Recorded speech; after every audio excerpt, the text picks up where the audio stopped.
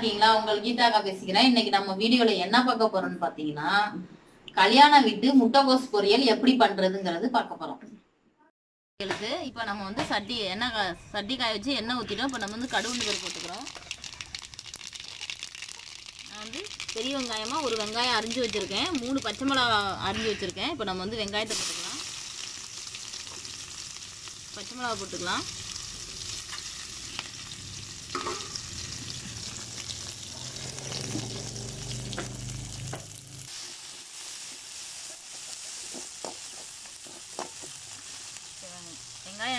வதங்கிருச்சு இப்போ வந்து நான் கருவேப்பிலை போட்டுக்கிறேன்.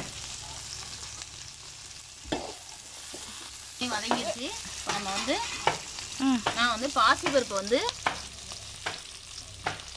ஊற வச்சு பாசிப்பருப்பு போட்டு ஊற வச்சிருக்கேன் ஒரு இருபது நிமிஷமா ஊறிடுச்சு. இப்போ நம்ம இந்த எண்ணெயிலே வந்து நம்ம பாசிப்பருப்பை போட்டுக்கலாம். நான் வந்து அரை கிலோ முட்டைக்கோஸ் எடுத்திருக்கேன். அதனால நான் வந்து கொஞ்சம் பருப்பு எடுத்துக்கிறேன். இங்கே கால் கிலோவுக்கு ஒரு மூணு ஸ்பூன் தகுந்தாப்புல எடுத்துக்கோங்க. நான் வந்து தே- முட்டைக்கோஸ் நிறையா இருக்கிறனால அதுக்கு தகுந்தாப்புல எடுத்துக்கிறேன். உங்களுக்கு எவ்வளோவுக்கு இப்போ எடுத்துக்கிறீங்களோ அதுக்கு தகுந்தாப்புல நீங்கள் எடுத்துக்கோங்க.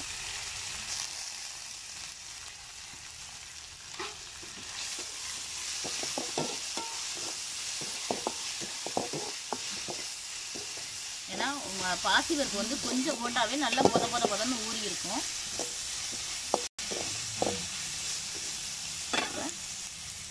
இப்ப அதுக்கு தகுந்த நான் தேவையான உப்பு போட்டுக்கிறேன்.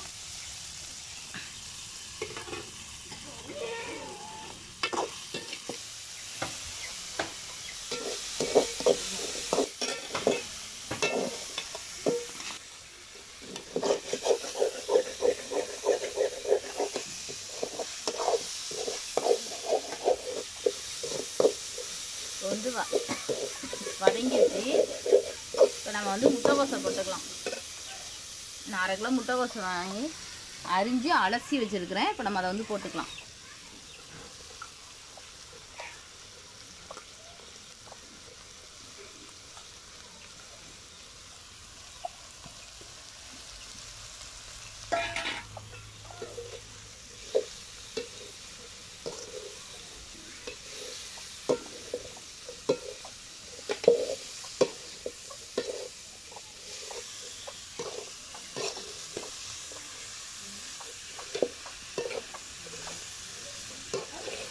நம்ம வந்து பாசிப்பருப்பு நம்ம ஊற வச்சதுனால நம்ம இந்த பாசிப்பருப்பு முட்டைக்கோசு வேகிறதுக்கும் பாசிப்பருப்பு வேகிறதுக்கும் சரியாக இருக்கும். அதை தனியாக விதைக்கணுங்கிற அவசியம் கிடையாது. நம்ம இதிலே வச்சுக்கிட்டோம்னா நல்லாயிருக்கும். நம்ம வந்து இந்த முட்டைக்கோசு வேகிறதுக்காக நம்ம அடி பிடிக்காமல் இருக்கிறதுக்காக ஏன்னா முட்டைக்கோசில் வந்து தண்ணி வரும்.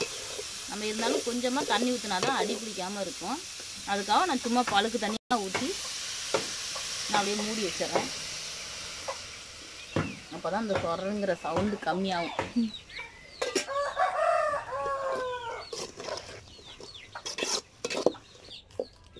தேங்காய் மூடி இருந்துச்சுன்னா அப்படிதான் கோழிங்க பாருங்க. தேங்காய் கூட அதை நம்ம இப்படி வச்சுட்டு போயிட்டோம்னா தேங்காய் மீதி இப்படி நோண்டின மிச்சம் தான் அம்மா வந்து துருவிட்டு வச்சுருக்காங்க. அதை எப்படி சாப்பிடுது பாருங்க கோழிங்க.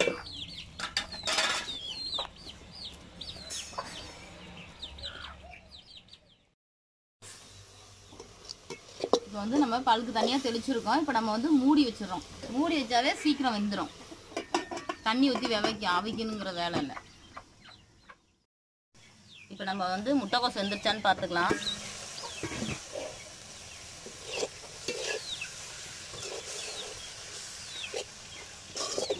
தண்ணிலாம் தெளிச்சது குந்திடுச்சு இப்போ நம்ம ஒரு ரெண்டு நிமிஷம் மட்டும் இருக்கணும் ஏன்னா பார்த்தாவே நல்லா தெரியுது.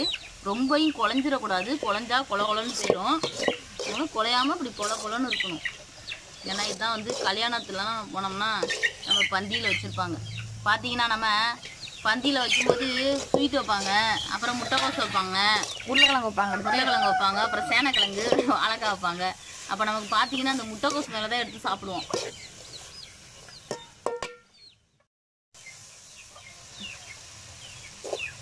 வந்து தண்ணிலாம் நல்லா இஞ்சிருச்சு வந்து கொல குளம்லாம் இல்லை. நல்லா பொல பொலன்னு தான் இருக்குது நம்ம பாசிப்பருப்பும் முட்டைக்கோசும். இப்போ நம்ம தேங்காய் பூ போட்டுக்கலாம்.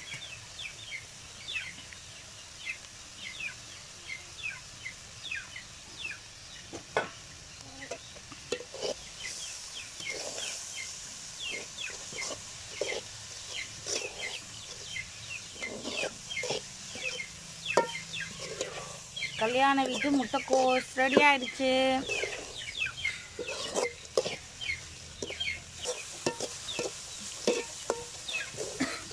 இப்போ வந்து கல்யாண வீட்டு முட்டைக்கோசு ரெடி ஆயிடுச்சு இப்போ நான் இன்னைக்கு வந்து புளிக்குழம்புக்கெலாம் வச்சு சாப்பிட்டா நல்லா அந்த மாதிரி செஞ்சுருக்கேன். நான் அடுத்ததுக்கு சாம்பார் வச்சு நல்லா காரமாக முட்டைக்கோசு எப்படி செய்கிறது அப்படிங்கிறத அடுத்த வீடியோவில் நான் வந்து போகிறேன் இப்போ முட்டைக்கோசு வந்து ரெடி ஆயிடுச்சு இப்போ நான் வந்து முட்டைக்கோசு வந்து இறக்கிறேன் முட்டைக்கோஸ் பொரியல் பார்த்தீங்கன்னா ரெடி ஆகிடுச்சு சூப்பராக இருக்குது நல்லா பாசிப்பருப்பு தேங்காய் முட்டைக்கோஸ் பாசிப்பருப்பு. இப்போ சாதத்துக்கு புளிக்குழம்புக்கும் முட்டைக்கோஸுக்கும்.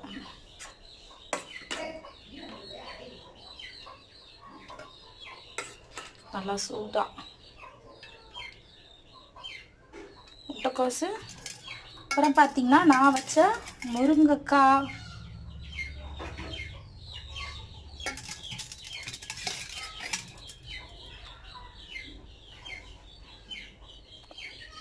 முருங்கைக்காய் புளிக்குழம்பு. முருங்கைக்காய் கத்திரிக்காய் புளிக்குழம்பு. இப்போ புளிக்குழம்புக்கும் முட்டைக்கோஸுக்கும் காம்பினேஷன் செம்மையாக இருக்கும். புளிப்போல புளிக்குழம்புக்கு வந்து புளியும் காரமும் கூட இருக்கனால இது மாதிரி வந்து முட்டைக்கோஸு கேரட்டு பீன்ஸ் இந்த மாதிரி சாப்பிட்டா நல்லாயிருக்கும் இதுக்கு புளிக்குழம்புக்கு முட்டைக்கோசு நல்லாயிருக்கும்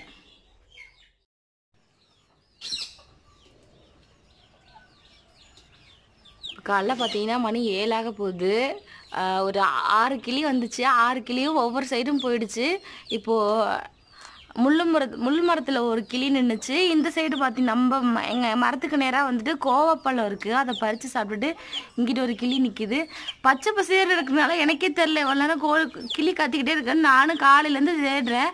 கடைசியாக பார்த்தீங்கன்னா இங்கே சாப்பிட்டுட்டு இருந்துச்சு. இப்போது அந்த மூளைக்கு போயிடுச்சு இதுலேயே ரெண்டு கிளி இருக்குது ஒன்று இந்த இடத்துட்டையும் ஒன்று அந்த மூலையிலையும் இருக்குது ரெண்டு கிளி இருக்குது ஆனால் வந்து சரியாக தெரியலை.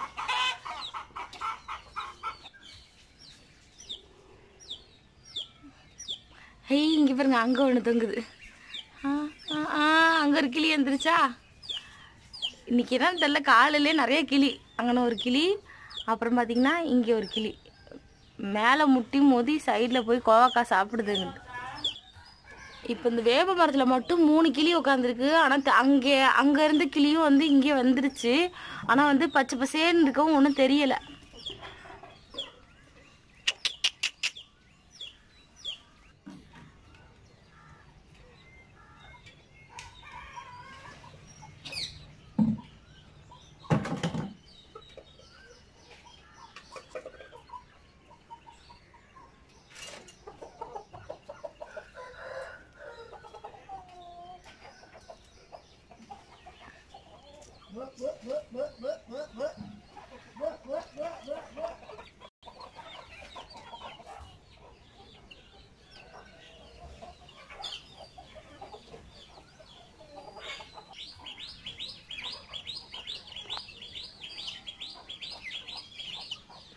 மேலே ஒன்று சாப்பிடுது இங்கிட்டு சைடில் ஒன்று வந்துடுச்சு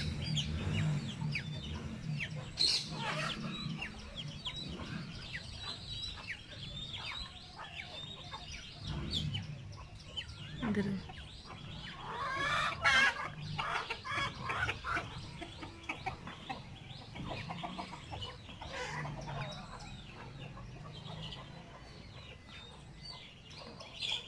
அதுலலாம் வந்து கோக்கச்செடி ஏ மூணு இருந்திருக்கு.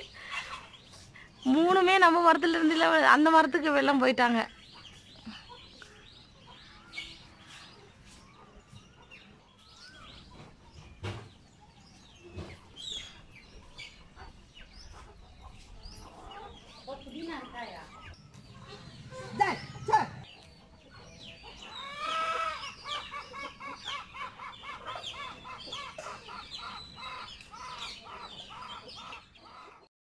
கிளி டெய்லியுமே இப்படி தான் பார்த்தீங்கன்னா நிறையா வந்து நம்ம வீட்டு மரத்தில் உட்காருது.